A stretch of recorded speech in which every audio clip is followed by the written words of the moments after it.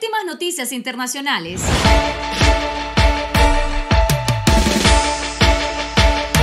Mike Pompeo asegura que China utilizará información de inteligencia para dañar a los Estados Unidos.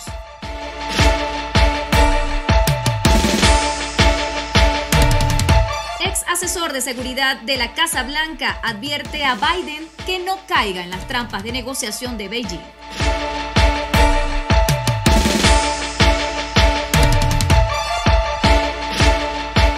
Expertos chinos analizan cómo serán las políticas de la nueva administración hacia su país.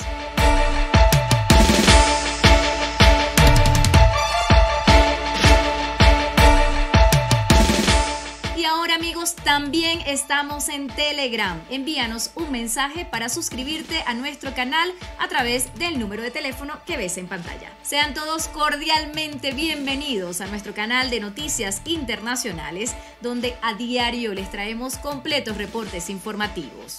Es para nosotros un gusto saludarles nuevamente y por eso los invitamos también a que se suscriban al canal si no lo han hecho y activen la campanita de notificaciones para que estén entre las primeras personas en conocer nuestros videos. Seguimos amigos con el tema de China y su relación con Estados Unidos. Sabemos que está todavía allí latente con respecto a la nueva administración que no se ha pronunciado del todo sobre cómo será esta nueva política con el gigante asiático. Algunas pistas se han dado, pero todavía no se sabe del todo cómo será.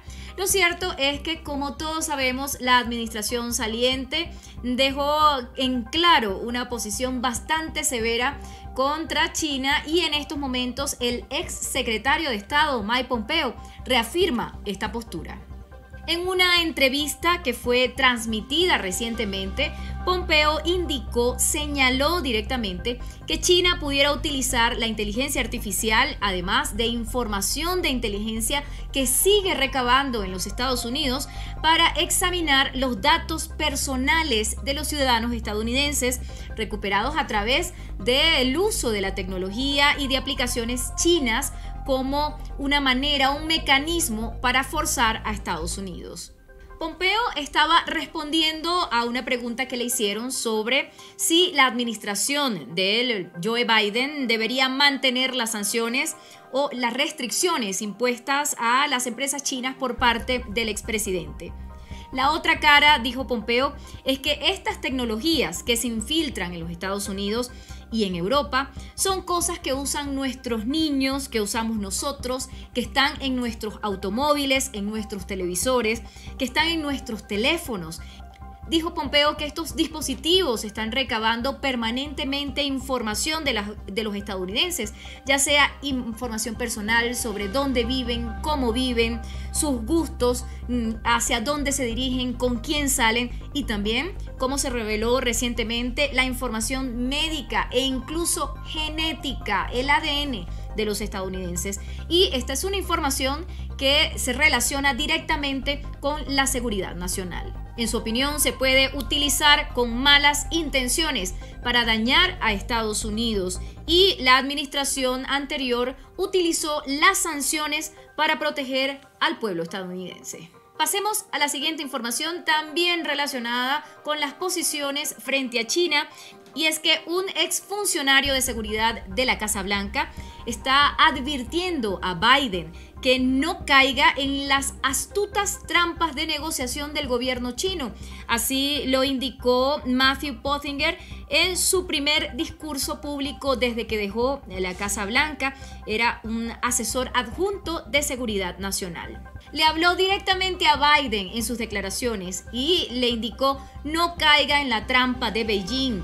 Estas trampas las tiende una y otra vez para que las administraciones caigan y es tratar de atraer a Estados Unidos a unas negociaciones largas, formales y de nivel medio. Pottinger, cuyo papel fue fundamental para forjar las políticas de China de la administración pasada, hizo las declaraciones frente a un panel organizado por la Escuela de Asuntos Internacionales y Públicos de la Universidad Internacional de Florida dijo que el ex gabinete de la Casa Blanca solo aprendió a no dejar que China alargue el reloj, es decir, alargue este tipo de negociaciones, porque después de un año de negociaciones de ida y vuelta y luego de revisar diálogos de las últimas dos décadas en los que Estados Unidos quedó prácticamente atrapado, lo que se dieron cuenta es que esta estrategia de China busca llevar a Estados Unidos a un déficit comercial.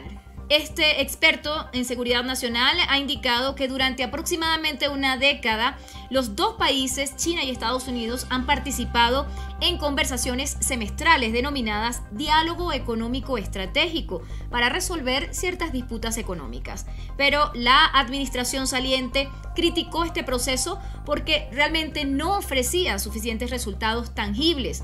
Y finalmente esta estrategia quedó eliminada cuando Estados Unidos cambió hacia un enfoque de línea dura hacia China. De acuerdo con Pottinger, Estados Unidos debería seguir conversando con China en sus propios términos y se debería hablar con acciones y no con este tipo de diálogos que son realmente una estrategia china para alargar los procesos, seguir prometiendo y no cumplir. Y precisamente amigos sobre estas relaciones tiene que ver nuestra última información de este bloque informativo y es que en China todavía hay expectativas sobre cómo va a manejar Biden la nueva política binacional. Y expertos han estado analizando cómo eh, la nueva administración podría abordar estas políticas. Digamos que andan buscando pistas en lo que se ha dicho oficialmente, aunque todavía Biden no ha dado un discurso oficial sobre China, sino algunos de los funcionarios de la nueva administración.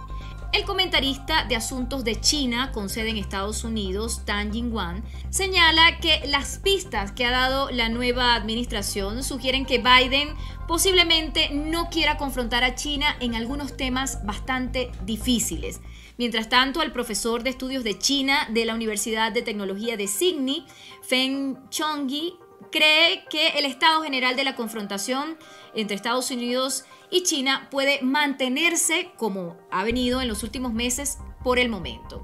Los medios de comunicación con sede en Hong Kong han analizado que Biden puede estar dándole la espalda a Beijing de alguna manera, ya que aún no ha respondido formalmente a estos, eh, digamos, gestos o algunas indirectas que ha lanzado el gobierno chino en busca de un diálogo o de nuevos compromisos. Realmente algunos de estos gestos, como los llaman los medios de comunicación, no han sido eh, tan sutiles, algunos han sido bastante agresivos y veamos de qué se trata un poco.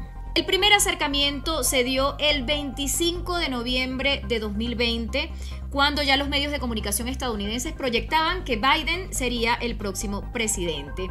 Y fue un mensaje muy breve, un telegrama que le enviaron de saludo a Biden por parte del líder chino Xi Jinping, solicitando la cooperación entre Estados Unidos y China.